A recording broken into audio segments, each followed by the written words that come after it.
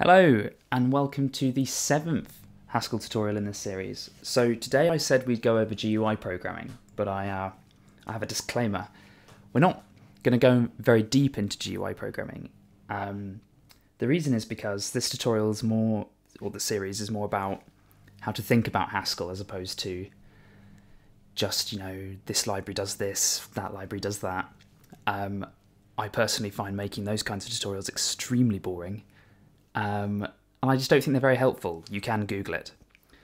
Um, so, what I thought we'd do is we'd use quite an interesting library, um, a declarative UI library uh, based on GTK, and we'd just do a simple Hello World application um, because that is enough to that's enough to really teach you the way in which declarative UI programming works, or at least this type of declarative GUI programming. Uh, we're not doing anything functional reactive or anything like that. Uh, we're just doing sort of bog standard declarative. So I have taken the liberty to pre-make some files, but I'm going to show you what I've done. So first of all, we need to look at the Cabal file. Um, so finally, I've changed some things in here. I've added the dash threaded uh, to GHC options. So this is just going to pass dash threaded to every GHC command. The reason why is because the library we're going to use uses a lot of threaded stuff and we need to enable that explicitly in the compiler. Um, and I've added a bunch of build depends. Um, text, GI, GTK, declarative app simple, GI, GTK, declarative, GI, GTK. Um, I think that's all we're going to need. Again, these are extremely improvised. Um, I've also um, change the main.hs file a bit. Um, so I've added these language extensions. Now we're not going to go over so much what they do um, because I'm going to do a separate few tutorials on language extensions and some of them, and I'll explain them better there. Um, but essentially, Haskell has a lot more features than it lets you know about initially. Um, the reason why is because the Haskell compiler, without any language extensions, has to implement the Haskell 2010 standard. Um, but the Glasgow Haskell compiler is kind of this amazing tool for research into language design. And if you want to add a feature to the compiler, uh, you add it as a language extension, which you enable normally here in the file, but you can enable them globally in the Cabal file. Um, I've also added some imports. So we're going to need control.monad, these, these GTK ones, uh, hiding. So the reason I have this hiding and then a list of things is because we have to, uh, there are some conflicts in constructors and functions uh, between GTK and GTK declarative. So I, I hide them. Um, I think that's easier than choosing to import individual functions and constructors. Okay. So, uh, I've also just run Cabal v2 build. The reason why is because it's going to go and it's going to grab a whole load of dependencies the first time you do it, and it takes ages. And I'd rather not. I'd rather not record my screen when it's downloading and compiling all of these, because uh, those dependencies have huge numbers of dependencies of their own. Um, if you go on the GTK declarative website, it will tell you that you'll need some things installed on your computer beforehand, like the GTK3 libraries. Um, so, you know, take this tutorial with a pinch of salt. You're going to have to do a lot of Googling. Right then. So, let's do some code. Um, so I, I guess the Hello World equivalent in GUI programming is that classic click me button that just says thank you. Uh, so that's what we're going to implement. Um, but we're doing it in a declarative way. So declarative GUI programming works in a really different way um, because we completely remove the idea of state um, or, or, global state. Um, I was about to declare a data type called state, and that would make no sense. Um, but we remove the idea of global state, and so we can't do things like just update the name of a button on the screen um, because that, that would imply that there's this global state that contains the name of your button. So instead, the way you think about it is you have a sort of a state data type, um, and we have a function which will go and it will take whatever's in that state data, uh, data type and it will use that to return another data type that describes what's going to be on the screen in its entirety. No changes, no updates, just its entirety. Um, and then we have an update function that will take an event, a state, and it will return a monad um, of sort of a new a new state. And and so the general idea is that the view uh, yes, the general idea is that the monad is used to find the difference between two calls to your uh, view uh, view function. So we have sort of two data types. Um, one that represents what's on the screen currently, one that represents what you want to be on your screen. And it will find the difference between them and then update as little on the screen as possible. So it's much more efficient than just doing, um, you know, redrawing the screen each time. You know, they thought of that. They've made this declarative programming quite efficient. Um, but in case that made no sense, we're actually going to do it. So first thing we're going to do is we're going to describe the possible states that our program can be in. So we're going to make a data type, state, and I guess it's just not clicked and uh, clicked. Um, if it's not clicked, the button will say click me. If it's clicked, the button will say thank you, like that. And then we, we need to think about the different events that could happen in this program. So we define a new data type, event. And I guess there's the button clicked event. And there's also like closing the window. So I'll have a close event. Um, so I think the next thing to write would be the update function. So I'm going to call it update prime. Um, you'll see why at the end, uh, why I've got the prime there. Um, and so this is of type state to event to, I think it's transition? I think, tran transition state event? We'll find out soon enough. Let's have a look. I can tell you pretty quickly if that's correct. Um, undefined. Um, is that is that correct? Is that correct? Yes, that is correct. Okay. Um, so transition here is our monad. So first of all, we don't actually care about what state the program's currently in when either button clicked or close is emitted. So we're actually just going to ignore the state. And then we're going to write what happens if we close, um, if the close event is emitted. Well, we're going to exit the program. What happens if our click, uh, button click, whoops, is emitted? Well, we're going to transition um, and we're going to move to the clicked state and we have to return nothing. So what that return nothing is, is you can say and emit a new event, but we're not going to emit a new event, so we can just ignore it. So you can, so I think I think that part is of type uh, transition maybe state, um, but we don't want to then emit another event, so we're just going to return nothing. Um, Cool, so you, you can see how that works. Um, nice and simple. We kind of have how the program updates itself. So the next thing is we're probably going to need to draw something.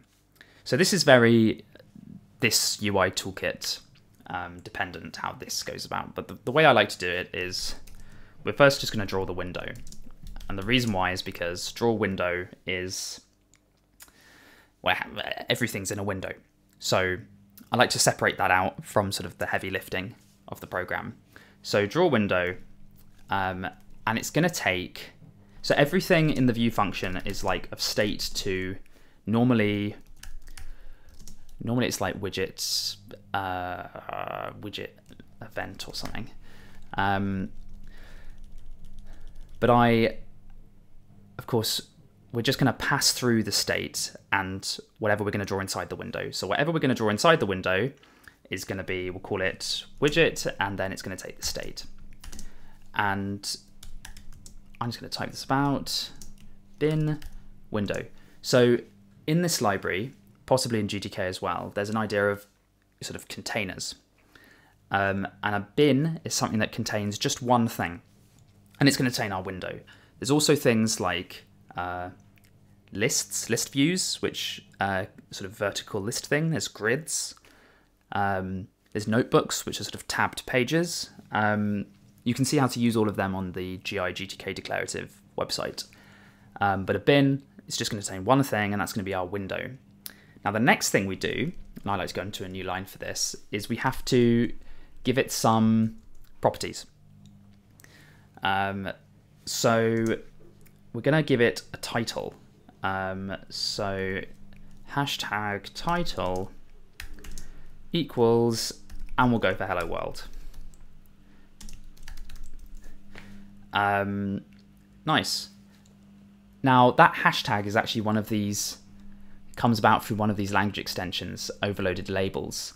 Um, the reason why is because there are so many widgets that we could have a title property for, and we don't want a new name for each of them. So that hashtag essentially gets replaced with maybe the name of the uh, name of the data type, um, but it allows you to reuse title, and it makes the UI kit a lot easier to use than having you. You don't have to type window title or whatever or button title, or you can just type hashtag title in all of those cases. So that's what that extension does. It's quite useful. Now, the next thing we probably want to deal with is we want to emit an event, uh, the close event, if it's closed. So it's uh, it would be on um, hashtag delete event. How do I know it's delete event? I googled it quite a long time ago, um, and then yeah, actually, this is this is a bit of a weird quirk about this library um, I can't just type close. Um, if I type close, as I will demonstrate, um, it will just error. Hopefully for the right reason. Um, yeah, so it says couldn't match GI GDK3 blah blah blah blah blah with bool event. What's going on? What's going on? what, what I always find a lot easier to do in this case is whenever you can emit an event, put an underscore and compile it. And the reason for that is the underscore is known as an unsigned, oh no, signed hole. And so it gives you quite a nice warning um, when you compile it or an error when you compile it. Here we go, found hole. And it tells you what that underscore should be of type. So the underscore should take an event and return a Boolean event. Bit weird. Bit more complicated than you expected. Um, so I'm going to fill out something of that type. So const, that's not how you spell const, const just ignores the first argument. Um, so this is like defining a lambda, but ignoring the, the argument. Um, and I'm going to give it true for the bool, and I'm going to give it close for the um, event. Um, cool. And we'll have. Oh, and afterwards we want to um, have our widget and pass a state to it. Nice. So that should build just fine. It's not going to do anything because we've not changed our main function. Um, but it, it's good to build as you go along just to make sure you've got stuff correct. So next we'll have our draw body function. Ooh. So draw body. So our draw body function is going to be of type state to widget event. Um, so we're going to want to have this time the state matters. So draw body, and we'll start with clicked. Clicked is probably easier. So if the state is clicked, then we just say thank you. So it's going to equal widget. So this is like bin, um, but what follows is a widget, and it's going to be a button in this case. Um, that's come from our GTK GIGTK library. Um, again, we can give it properties. So I'm going to do just that. I'm going to go hashtag label, and that's going to equal uh, thank you. Nice. And then we have, we'll do the other one, draw body, um, not clicked, must align equal signs. There we go. Um, pretty similar. Widget, button, and then we have the label equals click me. Oh. Now we also have to handle the um, we also have to handle the click event. So on and then clicked and then let's have a look, see what we actually need to put here.